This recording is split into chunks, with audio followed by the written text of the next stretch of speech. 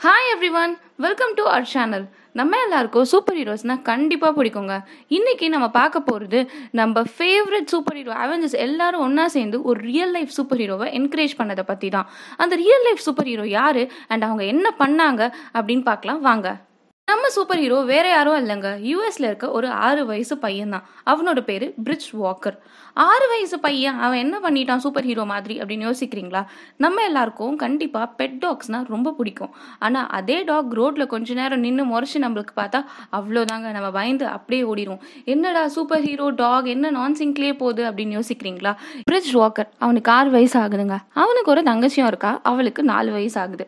Last week அவங்க வீட்டு பக்கத்து வீட்டில் இருக்க பேக் யார்டில் அவங்க ரெண்டு பேரும் விளையாடிட்டு இருந்திருக்காங்க. அந்த வீட்டில் ஒரு ரெண்டு ஜெர்மன் ஷெப்பர்ட் டாக்ஸ் இருந்திருக்கு.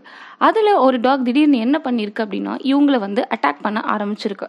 இந்த அட்டாக் பண்ணது அவன் தங்கச்சி கிட்ட அந்த டாக் ஓடி வந்தப்போ இந்த பையன் பிரேவா என்ன பண்ணியிருக்கான் அப்படின்னா அந்த டாகுக்கும் அந் அவன் தங்கச்சிக்கும் நடுவில் நின்று இருக்கான் இட் மீன்ஸ் அந்த டாகோட கடியெல்லாம் அவன் வாங்கியிருக்கான் அப்படின்னே சொல்லணும். அவன் நடுவில் நின்றுட்டுக்கு அப்புறமா அந்த டாக் வந்து அவனோட தலையை பிடிச்சிட்டு இருக்கு. அவனுடைய சீக்ஸையும் அவனோட தலையையும் பயங்கரமாக கடிக்க ஆரம்பிச்சிட்டு இருக்கு. பட் ஆனால் அவன் அந்த கடி வாங்கும் போதும் அவனோட தங்கச்சியை பார்த்து ரன் ரன் யூ ரன் அப்படின்னு தான் சொல்லியிருக்கான். அவன் தங்கச்சி ஒரு டிஸ்டன்ஸில் போனதுக்கு அப்புறமா தான் இவன் வந்துட்டு ஓடி வர ஆரம்பிச்சிருக்கான். ஆனால் சரி ஓடி வந்ததோட அந்த டாக் விட்டுருமா? கண்டிப்பாக நாயினா விடாது தானங்க. திரும்ப அவனை துரத்த ஆரம்பிச்சிருக்கு. அப்போவும் அவன் தங்கச்சி கிட்ட போகும்போது இவன் என்ன பண்ணியிருக்கான்னா இவன் போயிட்டு நடுவில் நின்று இருக்கான் ஸோ அவன் உடம்பு ஃபுல்லாக காயத்தோட கத்தியிருக்கான். அப்போ தான் வந்துட்டு அந்த வீட்டில் இருக்கவங்க எல்லாம் வெளியில் வந்து பார்த்து அவனை காப்பாற்றிருக்காங்க அந்த ஒரு டாக்டர் என்ன சொல்கிறாரு அப்படின்னா கண்டிப்பாக இவனுக்கு ஒரு பெரிய சர்ஜரி தேவைப்படுது பிகாஸ் ஃபேஸில் தலையில் எல்லாமே சம்மாடி ஸோ அந்த சர்ஜரியை அண்டர்கோ பண்ணணும் அப்படின்னு சொல்லியிருக்காங்க. பட் அந்த வயசுலேயும் அந்த பையன் வந்து சிரிச்சிட்டே தான் அப்பவும் இருந்திருக்கான். ஸோ சர்ஜரி வந்துட்டு பல மணி நேரம் போயிருக்கு.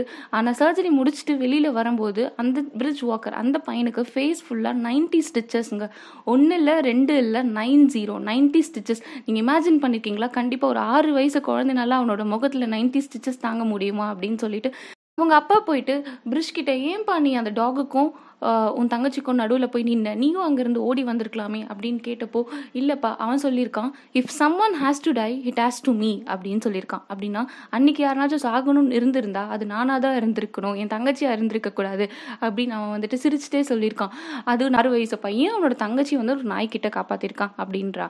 அப்படின்றது எப்படி இவ்வளோ பெரிய வைரல் ஆச்சு அமெரிக்காவில் அப்படின்னு கேட்டிங்க அப்படின்னா அவனோட ஆண்டி நிக் வாக்கர் அப்படின்றவங்க என்ன பண்ணியிருக்காங்கன்னா அவனோட இன்ஸ்டாகிராம் பேஜில் இது போட்டுட்டு அவனுக்கு அவெஞ்சர்ஸ் சூப்பர் ஹீரோஸ்னா ரொம்ப பிடிக்கும். ஸோ அதே மாதிரி இவனும் ஒரு சூப்பர் ஹீரோ மாதிரி அவனோட தங்கச்சியை காப்பாற்றிருக்கா அப்படின்னு அவங்க போஸ்ட் பண்ணியிருக்காங்க. பட் இதை வந்துட்டு எப்படியோ நம்ம கேப்டன் அமெரிக்கா பார்த்துட்டாருங்க.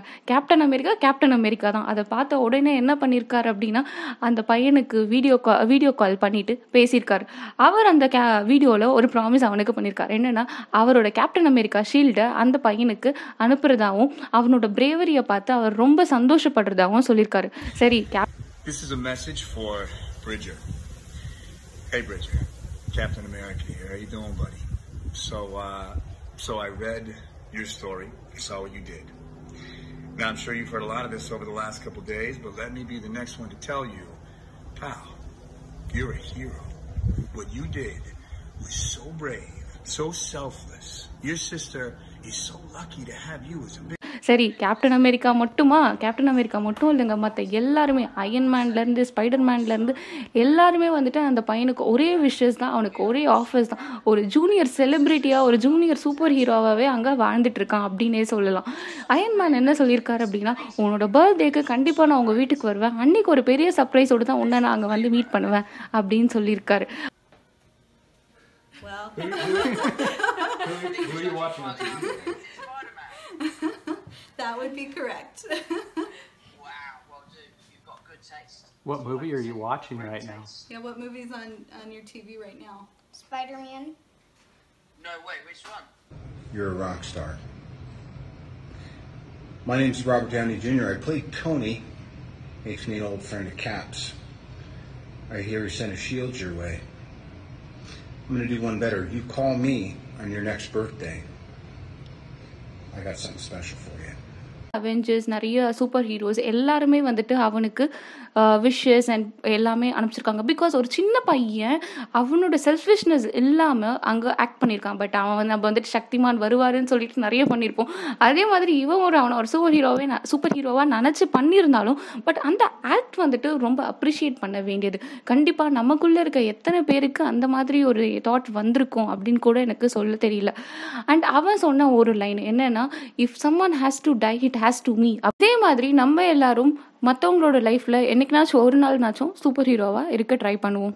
தேங்க்யூ